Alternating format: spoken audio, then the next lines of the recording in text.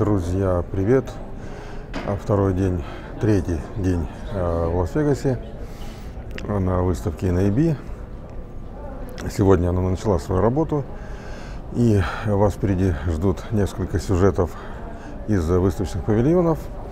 А Пока я их готовлю и пока посещаю пресс-конференции, а, предлагаю вам а, в- вашему вниманию мнение человека, которого все в нашей индустрии хорошо знают. Это Екатерина Петухова, долго работавшая представителем разных компаний, участвовавшая в а, создании телевизионных комплексов не только в России, но и за ее пределами.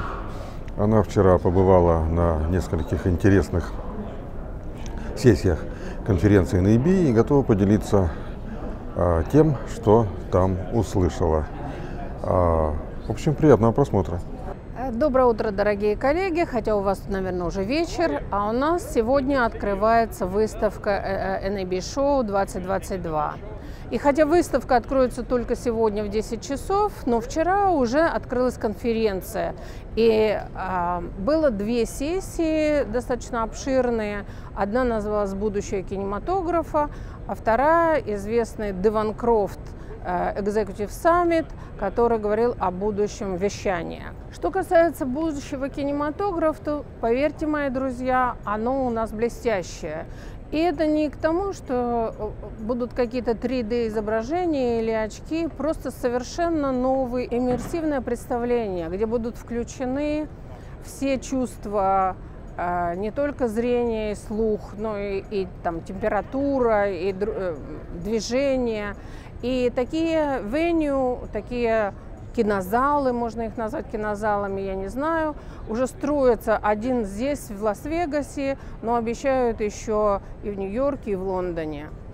И э, более подробно мы напишем в наших статьях об этом, чтобы сейчас не занимать ваше время. В том, что касается будущего вещания, то э, на Devon Crawford Executive Summit выступали очень многие пользователи современных технологий.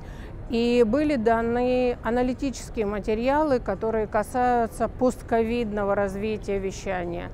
И основное направление это все-таки доставка и connectivity, то есть э, 5G и возможность э, э, с минимальной задержкой передавать сигналы и монтировать, причем сигналы э, большого формата, включая 8К. А Что касается облаков, такой модной темы, то там было э, очень интересное наблюдение. Все вендоры голосуют за облака, они все поддерживают идею облаков, но пользователи не спешат эту идею воплотить. У них до сих пор еще есть сомнения, опасения, что облакам, хотя и экономят им кучу денег, но тем не менее могут какие-то ну, там не очень приятные последствия в случае аварийной ситуации для них иметь. Поэтому э, тема облаков тоже нами будет раскрыта в отдельном э, докладе после того, как мы послушаем все доклады конференции на эту тему. Спасибо за внимание.